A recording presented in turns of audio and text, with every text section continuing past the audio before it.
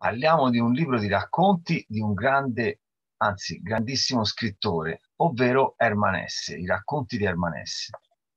Herman Hesse è uno scrittore originario della Germania, eh, nato nel 1877 e eh, che nel corso della sua vita eh, si è spostato poi eh, in Svizzera, dove ha passato gran parte della propria esistenza e dove è morto nel 1962 ha avuto sempre delle posizioni eh, molto portate per lo spiritualismo e per, eh, e per l'esotismo.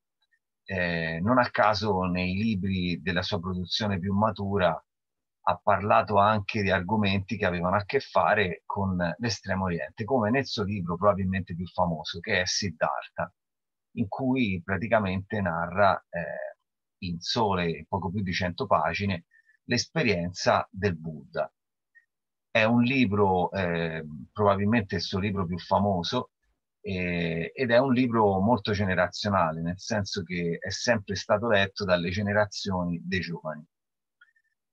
Ha anche scritto Il gioco delle perle di vetro e in questi racconti c'è un, un'ottima scelta della sua produzione, eh, diciamo più variegata. Ci sono sia racconti eh, abbastanza strani che racconti decisamente realistici e alcuni autobiografici, come quello che leggeremo per scoprire appunto questo libro, che è il primo della seconda metà. Curiosamente questo libro eh, nell'edizione Mondadori è diviso in due parti.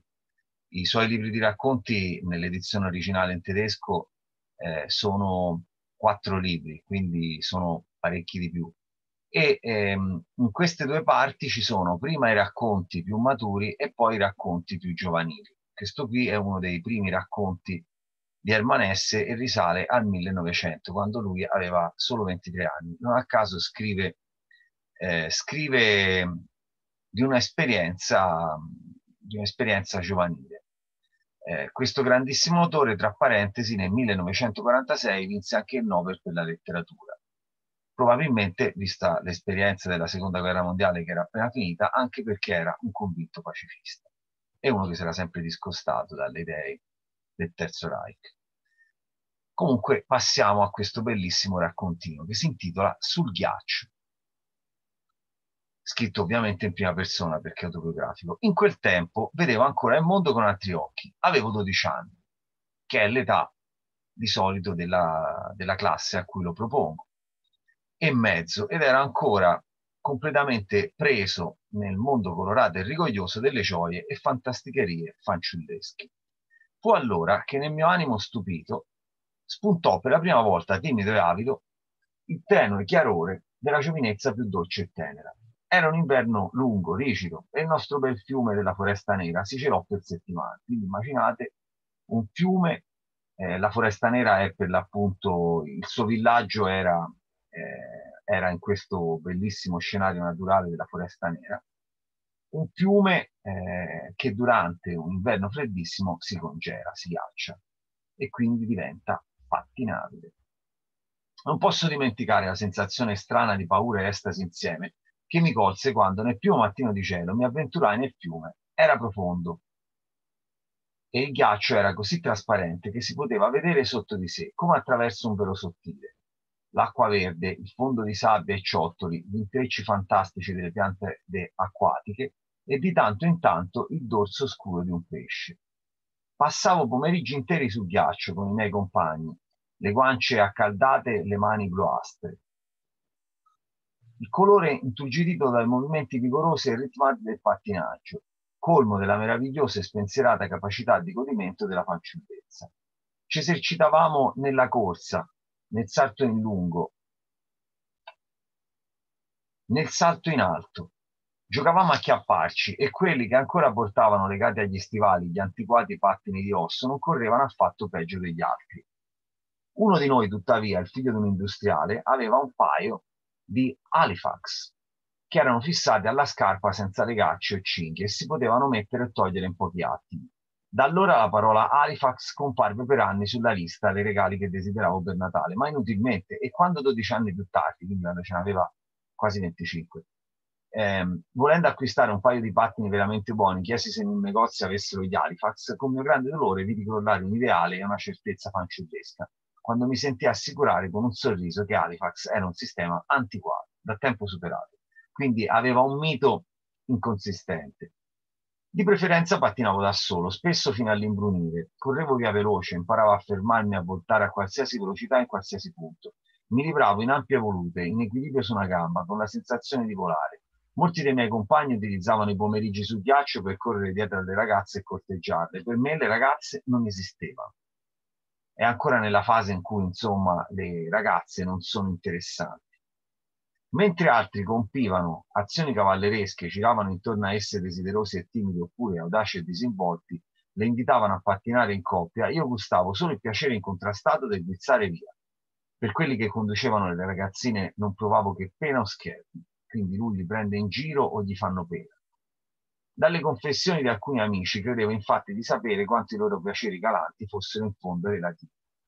Un giorno, mentre l'inverno già avvolgeva alla fine, mi giunse notizia di una novità, di una novità, scusate, nel nostro ambiente di scuola. Il nordista, che sarebbe praticamente uno che proviene eh, ovviamente dal nord della Germania, perché la foresta nera è abbastanza a sud, recentemente aveva di nuovo baciato Emma Mayer, mentre si toglievano i pattini. D'improvviso la notizia mi fece montare il sangue alla testa. Baciato.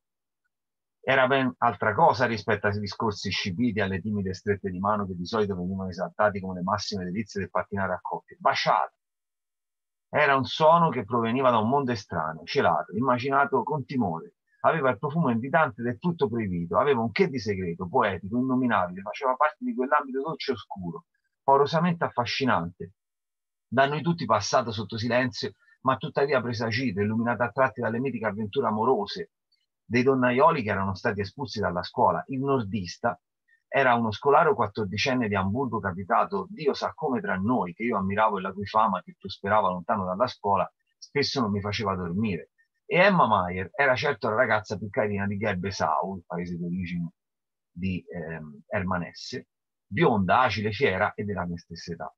Quindi il eh, tizio più scavezzacollo e un po' straniero di, questo villaggio nella foresta nera ha baciato la, più, eh, la ragazza più carina di tutto il villaggio. Quindi una cosa che non si può che invidiare. A partire da quel giorno cominciai a rimucinare progetti e problemi. Baciare una ragazza superava di gran lunga tutti i miei precedenti ideali, sia come cosa in sé, e sia perché senza dubbio era vietato e interdetto dalle regole della scuola. Mi resi presto conto che il solenne servizio amoroso della pista ghiacciata era l'unica buona occasione per farlo, quindi l'unica possibilità è invitarla a pattinare e approfittare di questa attività sportiva per darsi a escursioni più galanti con Emma Maier. Per prima cosa cercai quindi per quanto possibile di rendere il mio aspetto più acconcio al corteggiamento Dedicai tempo e cura ai miei capelli, controllai minuziosamente la pulizia dei miei vestiti, mi calcai con garbo il berretto di pelo sulla fronte, chissà come sarà carino col berretto di pelo sulla fronte, e pregai le mie sorelle di darmi il loro foulard di seta rossa, un tocco di esotismo per essere più carino. Insomma, ehm, inizia a curare di più la propria immagine la propria igiene, inizia a tenere più a se stesso perché deve attirare eh, una ragazza. Nello stesso tempo sul ghiaccio cominciai a salutare cortesemente le ragazze che potevano essere prese in considerazione e credetti di vedere che quell'ammoggio insolito veniva notato con sorpresa ma non senza piacere. Insomma, essere galanti funziona.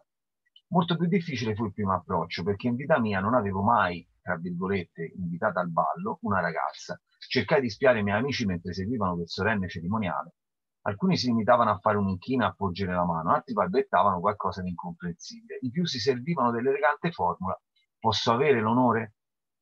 Questa formula mi impressionò molto e mi esercitai a casa, in camera mia, facendo l'inchino davanti alla stufa e pronunciando le parole solenni. Io mi sono innamorato di questo racconto la prima volta che lo lessi, eh, davanti a questa immagine di un ragazzino di circa 13 anni che si inginocchia davanti alla stufa per imparare a chiedere d'uscire, di ballare, di pattinare a una ragazza. L'ho trovata estremamente carina, irresistibile. Era giunto il giorno del primo difficile passo, già il giorno precedente avevo avuto intenzione di iniziare il corteggiamento, ma ero tornato a casa scoraggiato. senza avere osato niente. Quel giorno mi ero prefisso di fare immancabilmente ciò che temevo e insieme desideravo. Con il batticuore, angosciata a morte come un criminale, andai verso la pista di ghiaccio. Credo mi tremassero le mani mentre mi mettevo i pattini, perché è il grande giorno. Deve finalmente fare la prima mossa con questa ragazza, che per lui è bellissima e irraggiungibile. Poi mi gettai nella mischia con ampi movimenti circolari, cercando di mantenere un po' della mia abituale espressione di sicurezza e naturalezza. Percorsi due volte la pista in tutta la sua lunghezza, al massimo della velocità, e l'aria frizzante i movimenti vigorosi, vigorosi mi fecero bene si scioglie, no? Inizia a fare dei giri di prova per essere sciolto. D'improvviso, proprio sotto il ponte, mi scontrai in pieno con qualcuno e barcollai per qualche passo, sgomento. Urta qualcuno. Su ghiaccio era seduta la bella Ecco. Pensate la sfiga. Ha beccato in pieno proprio la tipa che voleva invitare a pattinare.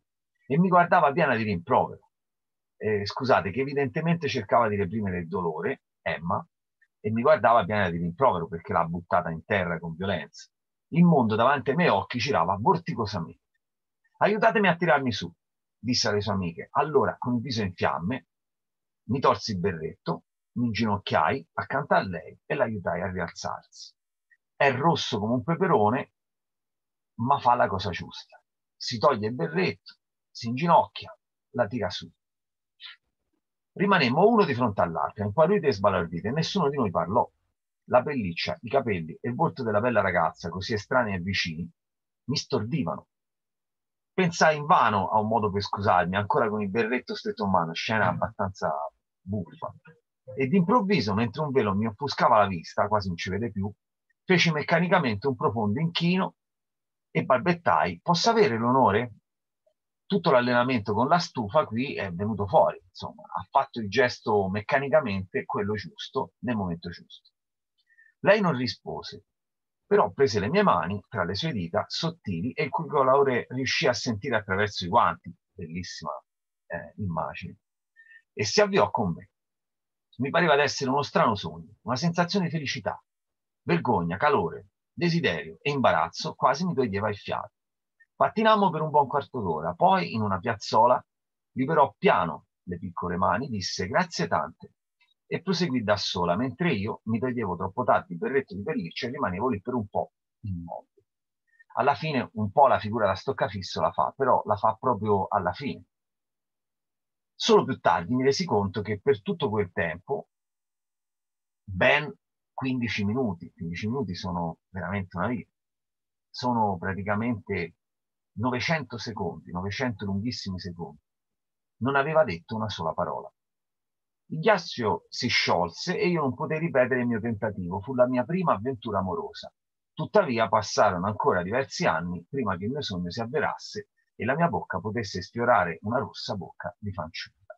Ed è un bel finale perché ci fa vedere che la vita continua, ma questo suo sogno di baciare qualcuna si compirà soltanto tanto tempo dopo, ma abbiamo assistito al momento in cui lui ha trovato coraggio per chiedere a qualcuna che per lui è bella e irraggiungibile di uscire con lui ed è un momento bellissimo e forse in un certo senso è lo spartiacque tra quando uno è bambino e quando uno è adolescente.